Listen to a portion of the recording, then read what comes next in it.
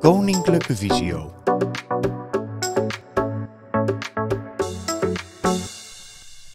Deze beeldopname is ook goed te volgen als je alleen luistert. Goedemiddag allemaal. Ik ehm, denk dat we gewoon lekker gaan starten ehm, bij, dit, eh, bij dit webinar. Eh, even voorstellen, mijn naam is Jesse en ik werk als ehm, adviseur digitale toegankelijkheid en innovatie bij Visio. Daar hou ik me bezig aan allerlei, hou ik me bezig met allerlei projecten rondom digitale toegankelijkheid en innovatie. Dat is heel breed. Dat, is, uh, dat gaat van het ontwikkelen van nieuwe computerstemmen tot het onderzoek doen naar mogelijkheden voor indoornavigatie. Maar dat is onder andere ook het omgaan met um, toegankelijkheid van websites en apps. En dat is waar we het uh, vandaag over gaan hebben. Um, we gaan een aantal dingen vandaag even doen. Um, eerst gaan we het hebben over hoe je ontoegankelijke sites en apps kan herkennen. Daarna deel ik een aantal oplossingen die je kan gebruiken om ontoegankelijke uh, sites en apps uh, toch uh, bruikbaar te maken, toch de informatie eruit te halen. En ik deel ook een aantal tips die je kan gebruiken als je er niet uitkomt of als de website echt ontoegankelijk blijkt te zijn, wat je dan nog kan doen. En daarna is er uiteraard ruimte, voor alle vragen. Dan de inhoud. Um, wanneer is een website nou ontoegankelijk? Nou, er zijn uh, verschillende oorzaken voor. Om maar bij het begin te beginnen. Uh, het kan zijn dat een website wel toegankelijk is, maar dat je als gebruiker gewoon onvoldoende kennis hebt. Dat, dat is heel lastig in te schatten, maar we gaan er voor nu even van uit dat je uh, voldoende kennis hebt voor het bedienen van een website met je hulpmiddel, schermlezer, vergrotingssoftware, wat je gebruikt, op welk apparaat je ook gebruikt. Mocht dat nou niet zo zijn en mocht je twijfels hebben over je eigen kennis en vaardigheden op het gebied van ontoegankelijke websites. En mocht je denken, misschien ligt het wel aan mij. Nou, kijk dan vooral eens op het kennisportaal van Visio. Of kijk of je bijvoorbeeld via een Visio training daar ondersteuning bij kan, uh, kan krijgen. Dat is zeker een mogelijkheid. Maar we gaan er voor dit webinar even vanuit dat de fout uh, niet bij de gebruiker zit en dat je als gebruiker de basis van je uh, hulpmiddel onder de knie hebt. Nou, er zijn eigenlijk nog twee andere uh, mogelijke oorzaken. En de eerste is, nou, die is misschien vrij logisch, een fout in de bouw van de site. Dus dat wil zeggen dat de ontwikkelaar of de beheerder van de site het zo heeft geprogrammeerd dat het niet toegankelijk is met hulpmiddelsoftware. En het alternatief en dat kan ook regelmatig voorkomen, is dat de fout hem zit in je schermlezer. Um, en het kunnen herkennen van dat verschil is niet altijd makkelijk. Maar ik uh, uh, denk dat het wel belangrijk is om te kunnen, om te begrijpen waarom iets niet altijd werkt. En um, ik zal je zo ook een aantal tips geven hoe je dat verschil kan zien. Oké, um, heel praktisch, als je er niet uitkomt, dan zijn er een aantal basisdingen die je kunt ondernemen. En elk van deze tips is gemakkelijk uh, toe te passen. Niet elke tip is in elke situatie bruikbaar, maar je kan uh, allicht eens proberen en in heel veel gevallen um, nou, lost dat het probleem op. De eerste waar ik je even doorheen mee wil nemen, en dat is met name voor de schermlezergebruikers. En dit richt zich uh, met name op desktop en laptop uh, besturingssystemen, is maximaliseer je scherm. Wat heel vaak gebeurt, is dat websites zichzelf aanpassen aan de venstergrootte die ze aanbiedt. Als jij een heel klein scherm hebt, dan past er minder informatie op. En dan past de website zich daarop aan door minder informatie te tonen. Het gevolg daarvan is dat als je bijvoorbeeld een mobiel apparaat gebruikt, alles nog steeds leesbaar is, omdat het nou ja, uh, niet dezelfde informatie van een groot scherm op een klein scherm gepropt wordt. Het gevolg daarvan is ook dat soms informatie wegvalt. Als jij een schermlezer gebruikt, uh, en in sommige gevallen ook vergroting, dan kan het zo zijn dat je niet doorhebt um, dat je eigenlijk maar naar een heel klein venstertje zit te kijken. Het gevolg daarvan is dat je website eigenlijk maar de helft van de informatie weergeeft. En dat je dus soms informatie mist waarvan je verwacht dat die er wel zou moeten staan. Of dat je bijvoorbeeld maar heel weinig zoekresultaten te zien krijgt. Of dat je bijvoorbeeld een menu niet kan benaderen waarvan je denkt dat het er zou moeten zijn. Als je dan je uh, scherm vergroot, dus door het te maximaliseren, op Windows te doen met de sneltoets Alt-spatie gevolgd door X. En op de Mac afhankelijk van de applicatie meestal met Control, of, uh, sorry, Command Option F. Um, daarmee kun je als het ware je scherm maximaliseren. En het gevolg daarvan is dat alles visueel op het scherm staat wat je zou verwachten. En dat die informatie dan ook uh, op een correctere manier wordt weergegeven aan je schermlezer of hulpmiddel, uh, wat je dan ook gebruikt. Dus dat is een hele simpele één sneltoets. Um, altijd goed om even te controleren voordat je uh, andere opties gaat, gaat overwegen. Um, een tweede wat altijd heel makkelijk is, is gebruik eens even een andere browser. Um, vaak, zeker op je computer, zul je, um, zul je met één vaste browser werken. Misschien wel uh, Google Chrome of Microsoft Edge of uh, Firefox. En um, vaak kan het helpen om een andere browser ernaast te hebben en die af en toe eens te gebruiken. Bepaalde websites kunnen dan ineens net wel de informatie geven die je zoekt.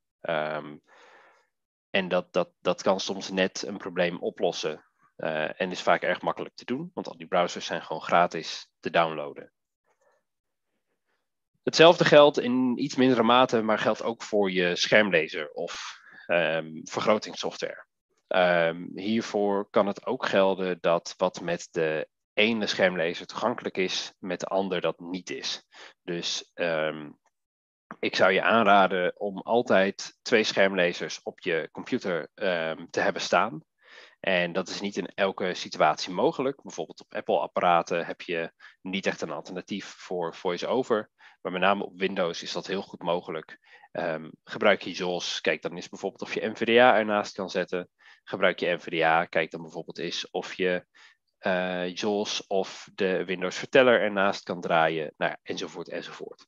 Um, probeer af en toe gewoon eens uh, af te wisselen. Um, de sneltoetsen van die schermlezers zijn in de basis heel vaak vergelijkbaar. Dus het is helemaal niet zo'n grote stap. En je hoeft niet gelijk alles te weten van die andere schermlezer. Als je maar de basis weet om nou ja, de ontoegankelijke website op dat moment even uh, de baas te kunnen, dan, dan ben je er al mee geholpen. Dus dat is vaak een uh, kleine moeite. Dan een aantal uh, praktische tips op je uh, computer, schermlezer, heb je een uh, zoekfunctie. Um, op Windows te bereiken met Ctrl-F, dan wel Ctrl-Caps-Lock-F, afhankelijk van je configuratie. En op de Mac met Ctrl-Option-F voor VoiceOver en Command-F zonder VoiceOver. Um, deze zoekfunctie geeft je eigenlijk de mogelijkheid om razendsnel naar een woord te zoeken. Uh, zoek je bijvoorbeeld naar een bepaald product in een lange lijst, dan kun je bijvoorbeeld een paar letters of een deel van de titel van dat product intypen, om zo in één keer naar je zoekresultaat te springen. Dan kan de rest van de website nog zo onoverzichtelijk zijn, maar door gewoon dat zoekwoord in te voeren en daar gelijk naartoe te springen, heb je wel de informatie die je nodig hebt. Hetzelfde geldt voor je link- of koppellijst. Uh, dat is een functie die je in eigenlijk elke schermlezer kan uh, bedienen. Meestal met de, caps of, uh, met de sneltoets Caps Lock of Insert F7. Um, en op de Mac met Ctrl Option F7. Um, deze link of koppellijst geeft je de mogelijkheid om snel een overzicht te krijgen van alle links en koppen op een website. En als je het overzicht even kwijt bent van nou, wat is er allemaal op de site en uh, waar kan ik uit kiezen, dan kan dat je helpen om het overzicht weer terug te krijgen. Tot slot, uh, op het gebied van uh, websites wil ik je nog één tip meegeven voor de gevorderde gebruiker. Um, heb je bijvoorbeeld een afbeelding op een website staan, dan kun je overwegen om met een OCR-toeltje die afbeelding te laten voorlezen In de meeste schermlezers zit OCR ingebouwd. En op de Mac kun je kijken naar het gratis programmaatje VOCR. En met deze software kun je bepaalde uh, visuele tekst laten omzetten in tekst die door je schermlezer gelezen kan worden. Dat is best wel een uh, complex uh, verhaal. Het is namelijk best een uitdaging om de juiste tekst in focus te krijgen. Maar als je dat lukt, dan kun je daarmee soms net de informatie krijgen die je op een andere manier niet kan krijgen. Hoe dat precies werkt, raad ik je aan om vooral even zelf uh, op te zoeken voor de configuratie die je gebruikt, met name afhankelijk van je schermlezer. Um, maar dat kan zeker een uh, overweging waard zijn. Um, nou ja, tot slot. Um, we hebben net al gezegd, gebruik een andere browser of een andere schermlezer. Je kan het natuurlijk ook breder trekken. Pak gewoon eens een ander apparaat. Gebruik je een computer, pak dan bijvoorbeeld eens je tablet of je telefoon erbij. Um, wat op het ene apparaat wel werkt, uh, of niet werkt, kan op het andere apparaat zo ineens wel uh, toegankelijk zijn. Dus dat, uh, dat is ook nog een overweging die, die je zou kunnen nemen. Um, over die mobiele apparaten gesproken, ook daarvoor zijn er een aantal hele praktische tips die je zelf kunt uitvoeren. Um, allereerst is het mogelijk om zelf bepaalde items op je, uh, op je mobiel te labelen. Dat geldt voor zowel mobiele sites als apps. Op je, op je telefoon kun je dan een label hangen aan een bepaald item op het scherm. Bijvoorbeeld een link of een knop zonder label. Dan kun je er een herkenbare naam aan geven, zodat je er de volgende keer snel naar toe kan springen. Uh, over die mobiele sites en apps gesproken, het is vaak ook de moeite waard om te wisselen tussen de mobiele site en de mobiele app. Uh, wat ik daarmee bedoel is dat vaak hebben, uh, hebben bedrijven zowel een site als een app. En dan kan het de moeite zijn om te wisselen tussen die twee. Vaak zijn apps net iets toegankelijker dan websites omdat apps vaak net iets beter geoptimaliseerd zijn voor het gebruiken met een schermlezer. Maar in sommige gevallen kan het ook juist andersom zo zijn dat dus een website weer prettiger in gebruik is dan een, uh, dan een, of dan een, uh, dan een app. Maar speel daar eens mee uh, door het gewoon eens nou ja, af te wisselen wat je gebruikt. Um, daar kun je soms verrassend veel nou, veel resultaten uithalen. Uh, het volgende is met name relevant voor apps. Wat ik heel veel mensen zie doen op hun mobiele telefoon, is van links naar rechts te vegen door de verschillende items heen. Met name de, de mensen die schermlezer gebruiken. Um, en dat is heel goed, want dat is een hele natuurlijke manier om informatie door te bladeren. Um, en je weet dan zeker dat je alles meepakt. Um, dat, dat, dat is in de basis een hele goede manier. Maar ik merk ook dat in lang niet alle apps dit vlekkeloos werkt. En dat het soms kan helpen om um, het zogenaamde Explore by Touch uh, principe te gebruiken. Wat wil dat nou zeggen? Nou, dat wil zeggen dat je op basis van gewoon visueel wat er op het scherm staat, ja, gewoon gaat ontdekken, exploren door het scherm aan te raken. Um, wat je dus doet, is je veegt gewoon rustig van boven naar beneden over het scherm, tot je de informatie hoort die je wilt hebben. En vaak um, bereik je dan sneller informatie die je door te vegen uh, misschien niet of heel traag zou hebben bereikt. Um, en ik merk dat lang niet iedereen dat doet en zich daar comfortabel mee voelt. Maar ja, dat, dat, dat is wel gewoon heel praktisch iets wat je uh, kan doen. Uh, even denken.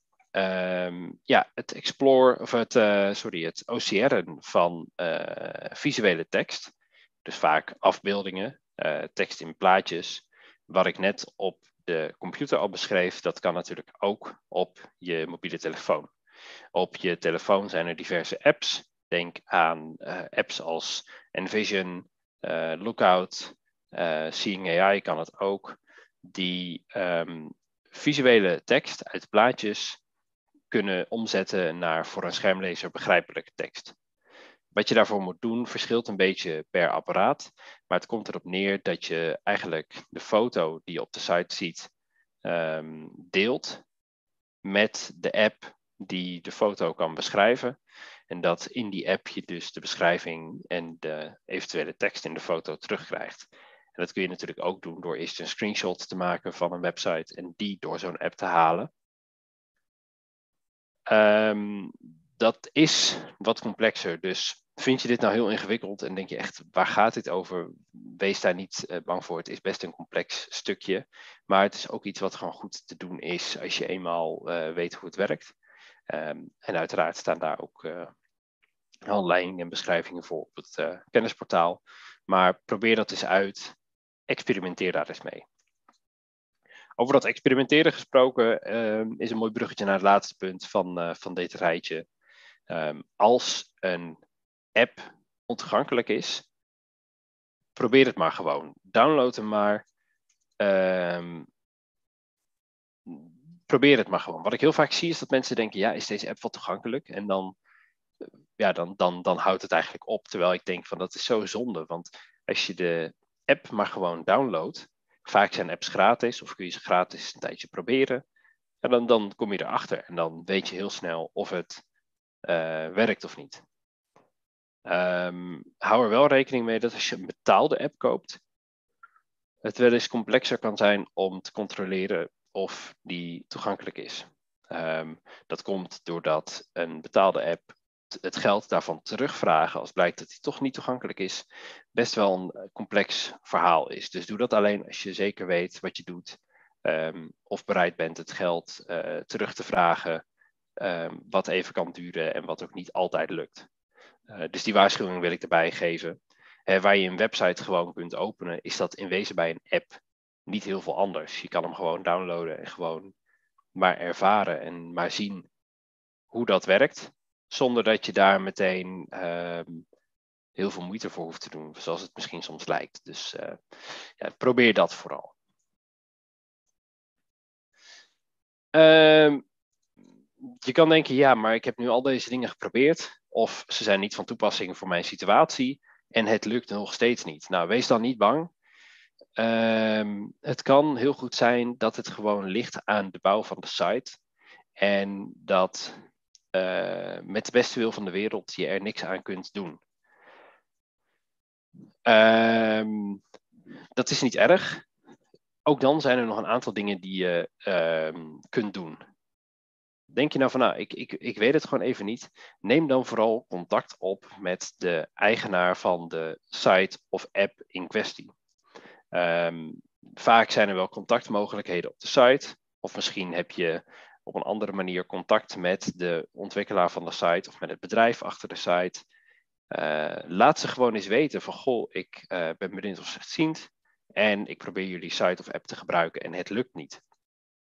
Um, dat stukje contact opnemen en het stukje bewustwording creëren bij de ontwikkelaars van de site is vaak al een hele waardevolle uh, stimulans voor hen om iets te gaan doen aan, uh, aan toegankelijkheid. Wat daarbij goed is om te vermelden is dat lang niet altijd de eigenaar van de site ook dezelfde is als de ontwikkelaar. Dat geldt met name voor kleinere bedrijfjes uh, wat dan heel vaak gebeurt, is dat ze een ander bedrijf vragen om de site voor hen te ontwikkelen of te onderhouden. En dat die site, uh, of die, sorry, die, uh, die ontwikkelaar dus in wezen ook verantwoordelijk is voor de toegankelijkheid. Um,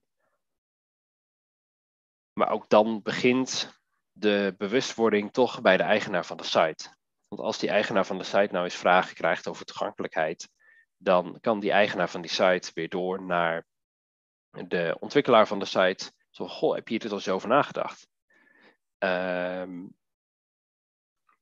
mocht je daar nou geen respons op krijgen, op um, het stukje bewustwording wat je probeert te bereiken, dan kun je ook nog kijken naar alternatieve partijen waar je uh, bij kan aankloppen. Er zijn verschillende partijen in Nederland die bedrijven proberen bewust te maken van ontoegankelijke websites en apps, waar je ook bij kunt aankloppen. Een voorbeeld van zo'n partij is Apt. Die hebben een app met de naam Ontoegankelijk. Die app kun je downloaden en daar kun je ontoegankelijke websites of apps rapporteren. Uh, je kan er dan een stukje schermopname bij plaatsen. En de makers van de ontoegankelijke app gaan dan voor jou met jouw melding aan de slag. En gaan met jouw melding naar de uh, desbetreffende app of siteontwikkelaar. Um, waardoor je uh, nou, misschien net iets meer slagkracht hebt. Zij zijn ook in staat om dan verschillende meldingen van mensen te verzamelen. En op die manier uh, de meldingen te kunnen bundelen en zo in één keer nou ja, op de, de ontwikkelaar af te kunnen stappen. Um, dus, dus dat zou ook nog een overweging waard kunnen zijn. Um, en tot slot, wat, heel veel, wat ik heel vaak hoor, is dat mensen zeggen: Ja, maar ik heb veel te weinig kennis van de techniek om met zo'n ontwikkelaar in gesprek te gaan. Of ik weet allemaal niet hoe dat werkt. En dat is een hele terechte twijfel. En ik snap dat. Maar laat je daar vooral niet door tegenhouden om een toegankelijkheidsprobleem te melden. Um, doe, meld het vooral ook al. Um, gaat het alleen maar om de bewustwording van goh, het lukt mij niet om jullie site te gebruiken dat is vaak echt al waar het begint en waar um, het stukje. Uh, waar, waar het zaadje wordt geplant, als het ware. En uh, laat je vooral niet tegenhouden door je gebrek aan kennis. Hè, als je heel veel technische kennis hebt en je kan gelijk al melden waar het probleem precies in zit, dan is dat mooi meegenomen. Maar als je dat niet hebt, dan is dat niet erg. En er zijn genoeg andere mensen die um, met jouw probleem aan de slag kunnen en echt kunnen onderzoeken waar nou ja, waar, het, uh, waar het probleem in zit. Uh, maar vooral meld het, want dan kunnen mensen er wat mee, dan kunnen ze ermee aan de slag. En dat is eigenlijk altijd het begin van de oplossing. Um, we zijn een klein half uur bezig. Ik uh, ben heel benieuwd. zijn er vragen? Loop je tegen dingen aan? Is er iets onduidelijk? Of uh, wil je nog ergens verder over doorpraten? Laat het weten. Uh, plaats ze in de uh, QA of eventueel, als dat niet lukt, in de chat. Um, en dan gaan we ze beantwoorden. Ja, er staat, staan eigenlijk twee vragen. Eentje die heb ik al typend min of meer beantwoord. Dat was een vraag van, van Karin. Kunnen we deze sheets via de mail naar de deelnemers uh, worden gestuurd. Um, ja, ik, ik denk, uh, Jesse, dat dat, ja, dat, dat, wel kan. Hè? Dat wat mij betreft kan dat zeker. Ja, ja. Um, inhoudelijke vraag van Mark. Werkt een perfect waagsite altijd goed met alle schermlezers in browsers?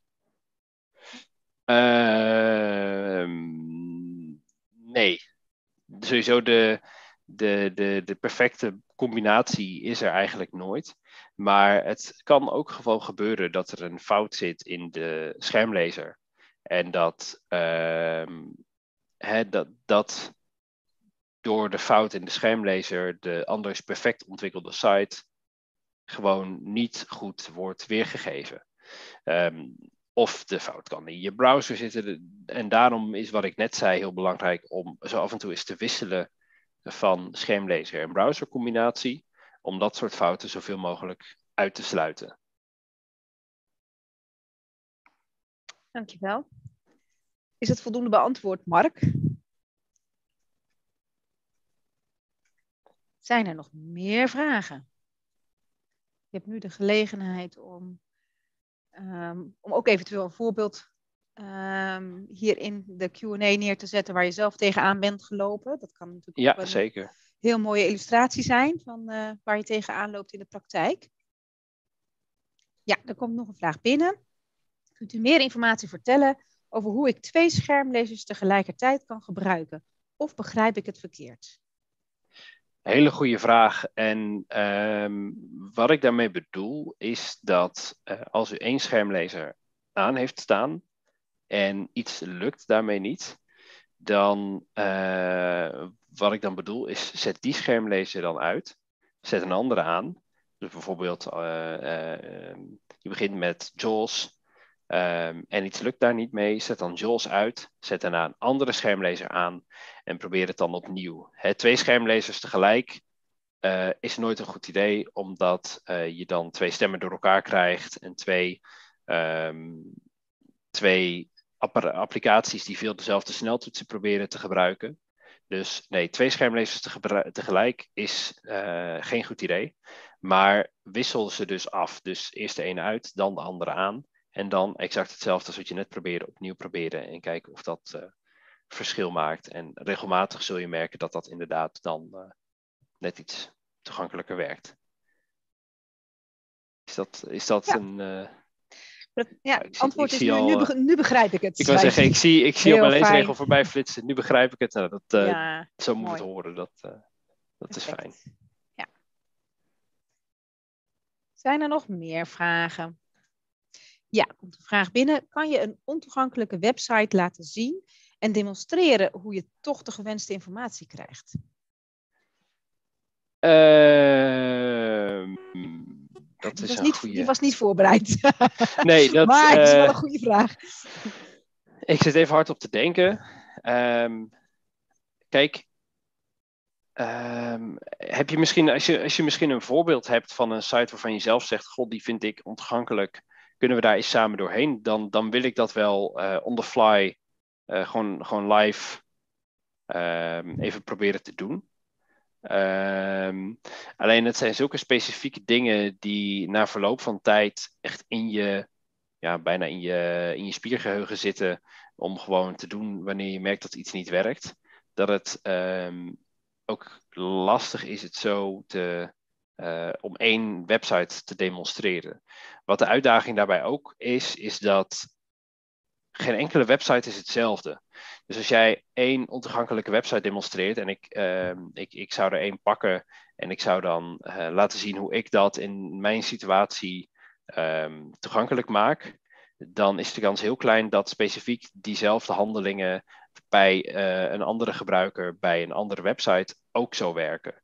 Dus daarom dat ik nu niet direct een website heb om te demonstreren, uh, omdat ze dus allemaal zo verschillen en ik vooral niet de indruk wil wekken dat, um, ja, dat je één, één dingetje kan doen waardoor alles magisch weer toegankelijk wordt. Dat, dat is helaas niet hoe het werkt. Mag ik dan vragen, Jesse, heb jij dan een soort strategisch stappenplan? Ja, eigenlijk is, eigenlijk is mijn strategische stappenplan um, precies waar ik, uh, waar ik ze net in die presentatie noemde. Hè? Dus eerst heel erg in de basis. Oké, even kijken of het scherm groot uh, gemaximaliseerd staat. Vervolgens, um, uh, vervolgens nou ja, pak ik uh, de zoekfunctie of de koppellijst erbij. Um, als dat dan niet werkt, dan ga ik kijken voor een andere browser. Als dat dan niet werkt, ga ik kijken voor een andere schermlezer. Als dat dan nog niet werkt, um, dan, uh, dan ga ik kijken of het bijvoorbeeld op mijn telefoon werkt. Of juist op mijn laptop als ik op mijn telefoon uh, aan de gang was. En als dat nou nog niet werkt, ja, dan uh, moet ik wel heel veel doorzettingsvermogen hebben om nog andere dingen te gaan proberen. En dan, als het me echt heel veel waard is, als ik die website echt nodig heb, ja, dan ga ik contact zoeken met de ontwikkelaar van de site. En anders dan denk ik ook regelmatig van, nou, laat maar, ik doe het wel op een andere manier. Want je kan natuurlijk ook altijd nog, als je bijvoorbeeld informatie ergens van nodig hebt, ze gewoon even bellen. Of als een webwinkel niet werkt, nou, dan ga je naar de concurrent. Uh, hef, het is ook maar net hoeveel waarde je aan die site hecht, of je er echt wat mee moet of, uh, of niet. Ja, mooi. Mooi antwoord, denk ik. Dus als we dadelijk de dia's ook nog toesturen, dan heeft iedereen zijn stappenplan gelijk bij de hand. Ja. Komt het op neer? Zeker. Ja. Nou, en en, en eh, voor uh, degene die de vraag net stelde, als je een hele specifieke website hebt waar je zelf tegenaan loopt, dan, dan wil ik daar best, uh, afhankelijk van hoe makkelijk dat nu is, ja. hardop denkend doorheen. maar weet dus dat dat niet één oplossing is, één magisch trucje, dat het ineens wel toegankelijk wordt. Snap ik, is het antwoord. Nou, mooi. Dat, ja. uh... oh, fijn, fijn. Er is nog ruimte voor uh, nog nieuwe reacties, vragen. Maar het blijft een beetje stil. dan eh, denk ik dat je een heel helder verhaal hebt gehouden, eh, Jesse. Het is eh, volgens mij heel mooi inderdaad dat jij de, de checklist als het ware al in de dia's ja, hebt opgenomen. Waardoor het hopelijk ook echt werkbaar wordt voor, voor de kijker, de, de luisteraar in dit webinar. Ja, dat, dat is mooi om te horen. En nou ja, mochten er uh, mochten er later nog vragen zijn, dan uh, zal ik uh, hierbij ook even de. Oh. De tot slot ehm, informatie eh, met jullie delen, waar je uiteraard ook je vervolgvragen kan stellen. dit webinar wordt uiteraard Ehm, opgenomen en is terug te kijken via kennisportaal.visio.org. Uh, en als deelnemer ontvang je ook de link waar je het webinar kan terugkijken. Um, en de sheets worden dus ook gedeeld uh, met iedereen die zich uh, heeft aangemeld. Um, reacties op het webinar die mogen naar kennisportaal.visio.org en dat geldt ook voor nieuwe ideeën voor webinars. Um, heb je, uh, heb je interesse in een ander webinar, wil je daarvoor aanmelden, dan kan dat via www.visio.org nieuwsbrief en dan de knop meld u aan voor Visio nieuwsbrieven. Um, en heb je andere vragen en wil je telefonisch geholpen worden, bel dan even de Visio Helpdesk met 088 585 5666. En dan wil ik jullie uh, graag allemaal hartelijk bedanken voor jullie aanwezigheid, voor jullie vragen. Um, en dan uh, graag tot een volgende keer, wat mij betreft. Dankjewel Jesse. Tot de volgende keer ook. Vond je deze informatie nuttig? Kijk dan eens op kennisportaal.visio.org voor meer artikelen, instructies en podcasts. Heb je een vraag? Stuur dan een mail naar kennisportaal.visio.org of bel naar 088 585 5666. Wil je meer weten over de dienstverlening van Koninklijke Visio? Ga dan naar www.visio.org. Koninklijke Visio, expertisecentrum voor slechtziende en blinde mensen.